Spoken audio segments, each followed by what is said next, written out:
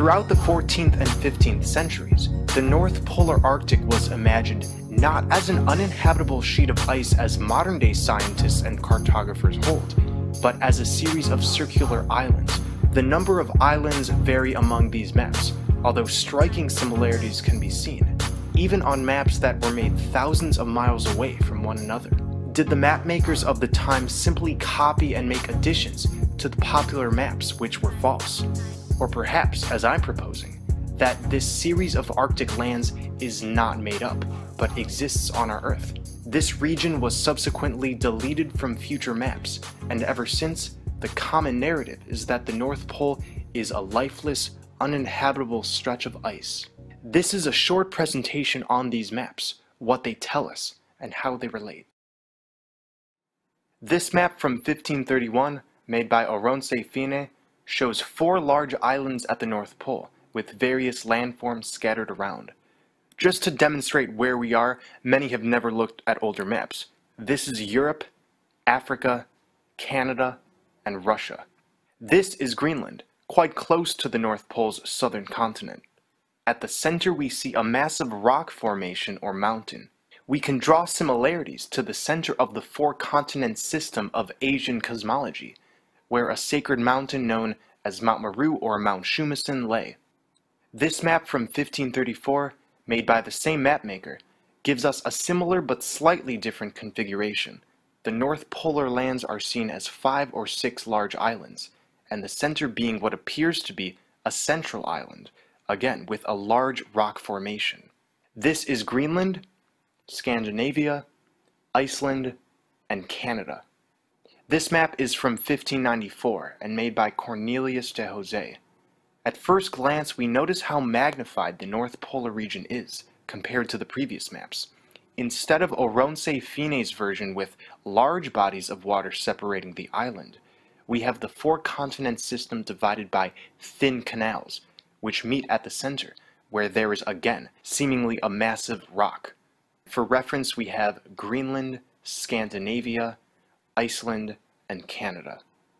This map, also from 1594, by Petrus Plancius, shows these same four continents, but separated via hemisphere. The inland sea where the four rivers meet is very pronounced, and again, we can marvel at how large of a system this is, and also how close it is to what we would call these outer lands. This map from 1595 by Gerhard Mercator gives us a close-up of this system. In small letters reads Rupes nigra et altissima, the black and very high rock, at the center. There is a mountain range surrounding each island continent, which in one of Mercator's letters he describes as being 14 miles wide. This is a version from 1608. It's interesting that in previous versions of this map, the southern continent isn't sort of blurred out, but is extended. These smaller islands below are completely different. It's hard to tell, but Greenland is practically touching this island with a land bridge, or it could be a thin canal, no more than 5 to 10 miles wide. This undated map of the Arctic Circle or Circulus Arcticus, is very similar to Mercator's maps around the same time, except the center land contains no magnetic rock or rivers dividing it. It's simply one continent. The word Hyperborea, which labels this continent, refers to the mythological far northern Greek paradise of Hyperborea, the land beyond the north wind. Greenland is referred to in this map as Iloksoa. To the right is Scythia, which is interesting because in the 4th century BC, Aristotle wrote of Hyperborea as being past the Riphean Mountains on the borders of Scythia, although no topography is shown on this map. This is an undated Japanese map with no name attached. It looks like it's probably from the mid-1500s. The Arctic region on both hemispheres show it looks like the edges of the four landmasses. This map, too, is undated with no recorded name. It's a Chinese map. We clearly see the northern half of the same structure shown in Mercator maps, the indrawing seas, dividing rivers, large rock at the center. Here's another undated Chinese map. This one is the sloppiest, least concise, and most different of all of these maps. there are five or six main islands with various scattered smaller ones. And just for reference, this is Canada, Russia, and this landmass appears to be Greenland. This map from 1567 by Abraham Ortelius includes at the North Pole two of the four island continent system, and this is like the original Mercator maps, showing Greenland with either a connecting land bridge or a thin canal between the borders.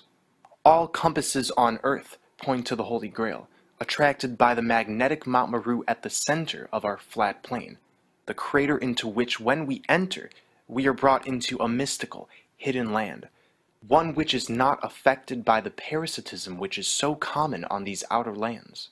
These maps prove that the knowledge of Eden, of Shambhala, Agartha, was once widespread, but for some reason was deleted from public knowledge and occulted. But now is the unveiling. The gates of Eden are open. Gerardus Mercator was a 16th century Belgian cartographer and geographer who is most renowned for creating the 1569 world map based on a new projection which represented sailing courses of constant bearing as straight lines. In the bottom left corner, we see a close-up of the Arctic, showing what appears to be a large mountain with four rivers diverging. This is in fact a smaller representation of Mercator's Arctic map titled Of the Northern Lands. On this map, he envisions the center as a large black rock, the Rupes Nigra, surrounded by a great whirlpool into which four powerful rivers flow. These rivers divide a large landmass into four distinct islands. When the English polymath John Dee wrote to Mercator asking about his sources for this map, Mercator returned with a letter stating, in the midst of the four countries is a whirlpool, into which there empty these four indrawing seas which divide the north. Right under the pole there lies a bare rock in the midst of the sea, and it is all of magnetic stone. A giant magnetic rock, exactly at the North Pole. Well, that would explain why all compasses point north, wouldn't it? If we are to look at the false heliocentric system with two magnetic poles, we should become very wary very quickly because all compasses point north all the time. If we supposedly live on a globe with a south pole, why is the pole always north? When one travels further in the southern hemisphere, why wouldn't compasses point south? The scientific elite try to keep us in constant confusion and in opposition of diving into the matter, giving us a sort of mental duct tape by telling us there are three different poles a magnetic, a geomagnetic, and a geographic. I can assure you that the more one looks into these poles, the more one realizes it's all bullshit. The North Pole is north, underneath the North Star Polaris, at the center of the flat Earth dome, shining down on Rupes Nigra, or as I like to call it by its Vedic name, the magnetic Mount Meru. Like many of the ancient systems, Vedic cosmology knew the Earth was flat, with a center axis, envisioned the universe as a sort of round chandelier, with the luminaries revolving above, and most importantly, with a center universal column on which we find Mount Meru. Here it is. In the center of Bhumandala, is the circular island of Jambudvipa, which represents Earth, with nine Varsha subdivisions. In the center stands the cone-shaped Mount Meru, which represents the world axis and is surmounted by the city of Brahma, the universal creator. Could this center landform be the same divided island found in Mercator's map? Could Mount Meru be the Rupes Nigra? And could the city of the god Brahma be a reference to the inner earth city of Shambhala? The center vortex is conjoined to the axis mundi, hitting Mount Meru with its resplendent rays. At Mount Meru, we can choose to walk into a higher frequency, but that's if you make it past the Bifrost Bridge. In the Norse text Gylfaginning, the Bifrost Bridge is described as the pathway between heaven and earth, Asgard and Midgard.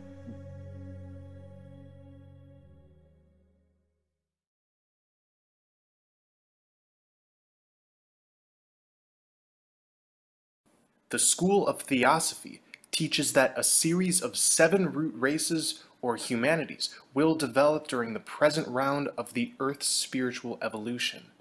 We are currently in the fifth. Each lives on its own continent, a word referring not only to the main continental area where the evolution of a root race takes place, but also to all the dry land that exists during the life period of a root race. Just as the root races overlap, so parts of the continents of one root race become incorporated into the continental system of the next. Creation unfolds as a series of epochs. For each epoch, there is a day and a night. During your life, you experience day and night. Similarly, from a higher point of view, your entire life is one day. Death is the entrance into night. After night passes, a new day arrives, a new existence. And the same is true of these worlds. Related to this humanity, there have been many days and nights. We are now in the middle of a great cosmic day. In Sanskrit, what's called a Mahamanvantara.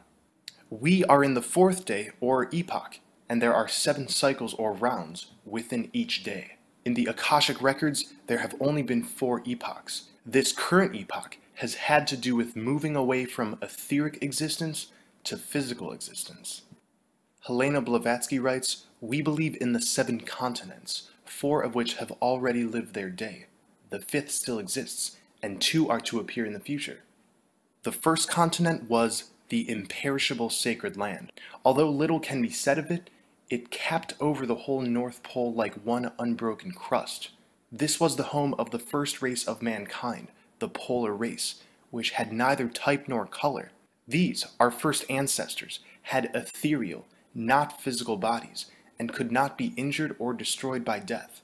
We can absolutely draw a parallel to Plato's account of an original race that was deathless and non-breeding. In the Kabbalah of the Mayan Mysteries, Samael Aun Weor writes, The Aztecs state that the human beings of the first root race were extraordinary dark-colored giants. This was a very civilized, androgynous, asexual, semi-physical, semi-ethereal root race. The first root race lived on the sacred island situated in the North Polar Cap. That island still exists, yet it is in a jinn state within the fourth dimension. The second continent is very elusive. It's considered home of the second root race, the Greek Hyperborean race. Theosophical accounts say it extended southward and westward from the North Pole, but most others have identified the North Pole as Hyperborea's location, including Rene Guénon, Miguel Serrano, William Warren, and many others. Not to mention, the name itself, Hyperborea, refers to something beyond the aurora borealis, which shoots out of the center of our plane. So despite what Theosophy says, everything points to Hyperborea as being a polar continent. It's strange because in this way, it's very much related to the imperishable sacred land.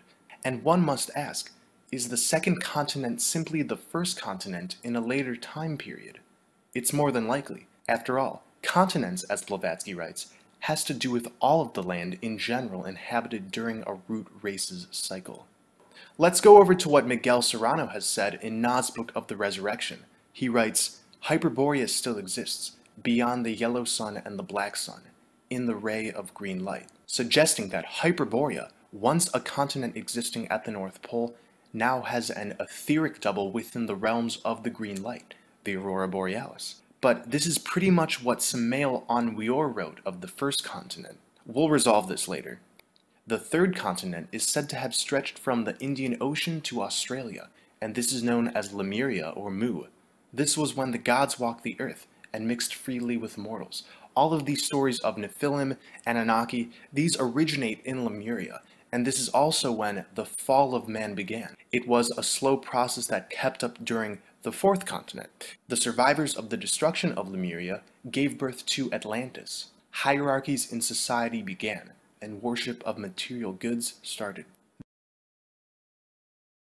The Atlanteans had degenerated a great deal and had now started using their awesome powers for evil. Their magical science became black, and with these changes came horrible devices. The Atlanteans could now create a mental monster that could crystallize into existence through their willpower. Millions of people perished, and all of the powerful cities of Atlantis submerged within the ocean that now bears its name. The fifth continent is said to be Asia, where theosophical writings tell us the fifth root race began. Of course, we're still in this race time period, so all dry land is the fifth continent. It's said that this Aryan root race, instead of evolving, has devolved, and its corruption is now worse than that of the Atlanteans in their epoch. And there are two more continents and races that have yet to exist within this great cosmic day. The account preserved in the book of Genesis can be interpreted to agree with Blavatsky's first four races. Genesis actually points to four different creation stories within one creation story. The first, the creation by the Elohim of a male and female spiritual Adam. The second creation story tells of a more materialized being made of the dust of the earth and placed in Eden, which in Theosophy is recognized as the polar homeland. The third creation story tells of the separation into sexes, and the last, the definitive entry into physical bodies and the exclusion from Eden. In this way, this great cosmic day can not only be seen as four races and four continents, but it's describing the devolution from light bodies to dense physical bodies. Rene Guénon's account of Hyperborea resembles Blavatsky's in many ways. According to Guénon, this current Adamic cycle, which Guénon believed to be now nearing its close, began in the Hyperborean land called Tula, a similar name to the Greek capital city of Hyperborea called Thule. It was the first and supreme center, the archetypal sacred island, and its situation was literally polar at the origin. What manner of beings lived there, Guénon does not say, but he gives one to understand that our cycle of humanity began there, identifying you guessed it, Mount Meru at the center of the earth, whom Blavatsky herself said of, Meru, the abode of the gods, was placed as before explained in the North Pole. Meru is the high abode of the gods. If we are to put together what so many authors and mystics have written, it's clear that the North Pole has significance as a flourishing paradise. Although right now we cannot resolve the odd tension between the polar and Hyperborean race, but we can gather enough of an idea. In Blavatsky's cosmogony, the first root race was created from pure spirit, and again, lived at the North Pole. This sacred land is stated never to have shared the fate of the other continents because it is the only one whose destiny is to last from the beginning to the end. While every race has and will be destroyed, this first race remains existing and flourishing today, housing the original divine consciousness. Accordingly, it is the cradle of the first man, and the dwelling of the last divine mortal. Blavatsky writes, If the teaching is understood correctly, the first continent which came into existence capped over the whole North Pole like one unbroken crust, and remains so to this day, beyond that inland sea which seemed like an unreachable mirage to the few Arctic travelers who perceived it. Terms such as the blessed land of eternal light and summer, and the land of the eternal sun, are throughout Theosophy literature, and this is referring to this continent and to the central sun, which neither sets nor rises in this imperishable land. Tibetan sacred texts speak of a mystical kingdom called Shambhala, where the most sacred of the Buddhist teachings are preserved. Both the Hindu and Buddhist traditions say it contains a magnificent central palace radiating a powerful, diamond-like light. Buddhist texts say that Shambhala can only be reached by a long and difficult journey across a wilderness of deserts and mountains, and warn that only those who are called and have the necessary spiritual preparation will be able to find it. Others will only find blinding storms, empty mountains, or even death. One text says that the kingdom of Shambhala is round, but it is usually depicted as an eight-petaled lotus. I've said this before, a symbol of the heart chakra. Indeed, an old Tibetan story states that the kingdom of Shambhala is in your own heart. The guidebooks to Shambhala, whose puzzling directions are a mixture of realism and fantasy, can be read on one level as instructions for taking an inner journey from the familiar world of the surface consciousness through the wilds of the subconscious to the hidden sanctuary of the superconscious. But even so, the idea that Shambhala is also located in the material world is firmly rooted in Tibetan tradition.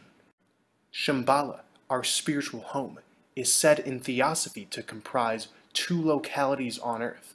One of them is situated in the highlands of Asia, somewhere to the westward of the meridian line passing through Lhasa. Long ago, this locality was a sacred island in a vast Central Asian inland sea, known as the Abyss of Learning, or Sea of Knowledge, and was accessible via subterranean passages. But there is also another holy location, alluded to in all the great exoteric religions. This spot is near what the Hindu Puranas call Mount Meru, what the Arabians call Mount Qaf, and what the Greeks call Mount Olympus. It is the North Pole. As one approaches the North Pole from the snowy Arctic, the air actually becomes warmer and warmer, the snow cover thinner and thinner, until there are only grassy tundras, flowers, and a subtropical climate. This is the atmosphere of the center landmass enveloping Mount Meru. The Zoroastrian Avesta refers to the mediator angel Srosha dwelling on the cosmic mountain Hare, the Persian equivalent of Mount Meru at the Bridge of Decision, leading to paradise. Similarly, the Hindu myths remind us that at the summit of Meru encircles Brahma's golden city. The Mandean Gnostics believed in an ideal version of Earth called Mishunya Kushta, an Earth of light, peopled by a divine race of superhumans, and this was situated in the far north, separated from our world by a high mountain. Mishunya Kushta was said to exist between heaven and earth, just like Mount Meru. Shambhala, which is a Sanskrit word meaning place of peace or place of silence, is a mythical paradise spoken of in ancient texts, including the Kalachakra Tantra and the ancient scriptures of the Zhang culture which predated Tibetan Buddhism. According to legend, it is a land where only the pure of heart can live, a place where love and wisdom reigns, and where people are immune to suffering, toil, and old age. The idea of Shambhala is said to have outer and inner meanings. The outer meaning understands Shambhala to exist as a physical place, although only individuals with the appropriate karma can reach it and experience it as such. Those who have risen above their own animalistic nature and gone inwards, those who have activated the green ray of their heart, may pass into the semi-physical, semi-ethereal paradise of Shambhala, which, as I've been describing, is located at the Arctic, at the north pole of our flat plain. It's said that the kingdom is completely surrounded by snow mountains. These outer mountains are very similar to what Gerhard Mercator mentioned in his 1577 letter to John Dee, writing, The mountain range goes round the north like a wall, save that in 19 places the indrawing channels flow through it. We can clearly see the surrounding mountains in the 1595 Mercator map. So if one were to travel by sea, they would simply have to find one of the openings in order to make the easiest entrance in. Shambhala is lush with parks and meadows, flowers, and abundant vegetation. All the inhabitants of Shambhala live in absolute peace and harmony, free from sickness or hunger. They are all of a healthy and beautiful appearance, and their language is Sanskrit. There are no such things as physical punishment or imprisonment, as there is nobody to be punished. The kings are not tyrannical, but are religious figures, and evil is foreign to the land. As pure of a place this is, the inhabitants are not said to be renunciants of the material world, but rather enjoy all pleasures that we do, and use them as a means of liberation. This non-dual, unified attitude towards the physical is curious, especially when we think of the various spiritual and religious practices of these outer lands, many of which deem the material world as corrupt or something one must distance themselves from, as is promoted in Gnosticism, Christianity, and Buddhism. It's said that the inhabitants of Shambhala possess all sorts of extraordinary psychic powers, such as the ability to read others' thoughts, to foresee the future, and walk at very high speeds. They also have the ability to become invisible, it's an intermediary state between samsara and nirvana. Samsara being the state everyone who is watching this is in, the cycle of reincarnation, and nirvana being the liberation from this cycle of rebirth and death. Shambhala is therefore considered to be the best place to achieve enlightenment and spiritual wisdom, the final earthly point before liberation. As pure of a place this is, some sources say the people of Shambhala are not fully enlightened. They still retain some human failings and illusions, but fewer than people of these outer lands. Enlightenment, however, is the goal, and it's the highest attainment for those in Shambhala. Various mythological paradises have been associated at one point or another with the North Pole. Interestingly, the Hebrew term for the North alludes to a mystical location, a hidden or secret place. Tsaphon means north, and this comes from the root tsaphan, which means a hidden, treasured, or secret place. The specific layout of this region is unknown, but we do know there are four island continents. The Mahabharata describes one of these island continents, stating that it is the residence of the Siddhas, the enlightened sages. The trees there bear sweet fruits and flowers. Some of the trees yield fruits according to the will of the plucker. The people of that country are free from illness and are always cheerful. Ten thousand and ten hundred years they live, and never abandon one another. For practitioners of the Tibetan Bon tradition, Shambhala is called Tagzik Olmo Lung Ring. Its description is very similar to that of Shambhala, being a realm where peace and joy abounds. The only difference from Shambhala is that instead of Mount Meru being in the center, it is a sacred mountain called Yung Drung Gutsek, where four rivers flow from. Tagzik Olmo Lung Ring is said not to be accessible to humans in the state of dualism. In order to enter, one must diligently purify the body and mind. Bon monks consider it a great honor and spiritual achievement to be reborn in Olmo Lung Ring. William Warren, the author of Paradise Found, knew of this divine location, and I urge anybody who would like a more specific review to check out that book. From it, I quote, Whoever seeks as a probable location for paradise, the heavenliest spot on earth, with respect to light and darkness, and with respect to celestial scenery, must be content to seek it at the Arctic Pole. Here is the true city of the sun. Here is the one and only spot on earth, respecting which it would seem as if the Creator had said, as of his own heavenly residence, there shall be no night there. Jambudvipa is a land of pureness, what Richard Leviton has written as being luminously bright with purified consciousness, where land and mind are inseparable. The residents, quasi or post-humans, are similarly effulgent with light, and their bodies seem more of light than matter, opulently decorated in bangles, earrings, rings, necklaces, crowns, and other light-based adornments. Pure thoughts are the landscape, spiritual beings are the terrain's features, and the inside and outside are not different, mind and land, consciousness and projected world. Perched high above this land is said to be a gigantic jambu tree, also known as the rose apple tree. This tree is native here to India and Southeast Asia. Jambudvipa gets its name from this tree, literally referring to the land of the jambu trees, where Jambu is the name of the species, and Vipa means island or continent.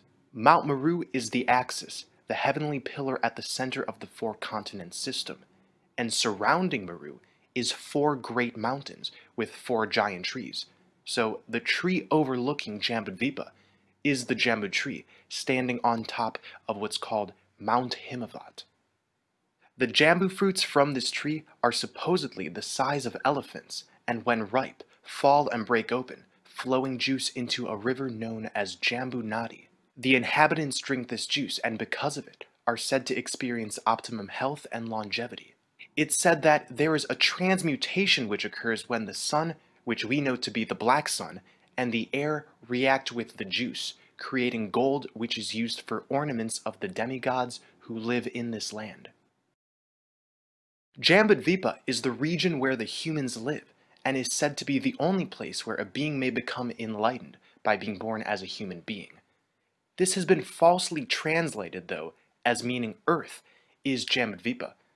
Most mainstream Buddhist cosmologists will tell you that we're in Jambudvipa right now, But the reason it's said that this land is the land of the humans is because it's the area which humans typically come from the outer world. It is in Jambudvipa that one may receive the gift of Dharma and come to understand the Four Noble Truths, the Noble Eightfold Path of Buddhism, and ultimately realize the liberation from the cycle of life and death called moksha. So the inhabitants of Jambudvipa are particularly aware of the workings of karma, since the goal in this land is to achieve freedom from the material and ascend upwards into the spiritual. The diamond throne is directly in the middle of Jambudvipa. It is here that a bodhisattva, meaning someone who has achieved nirvana, sits in perfect union with the all.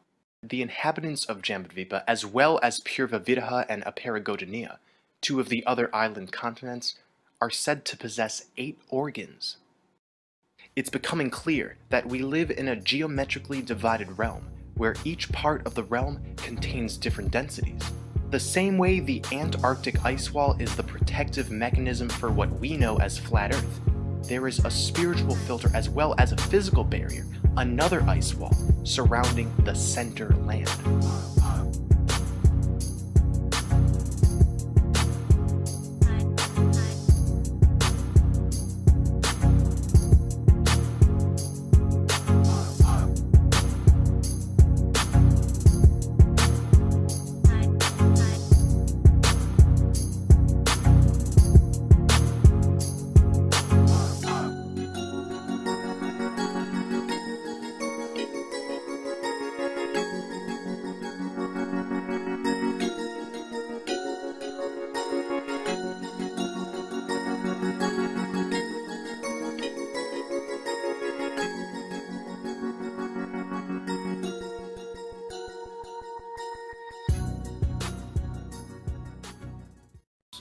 Watching. I hope you enjoyed this video presentation. If you did, please subscribe to my YouTube channel, like the video, and share it on your favorite social media sites. There's a lot more to come, so stay tuned and we'll see you back next time.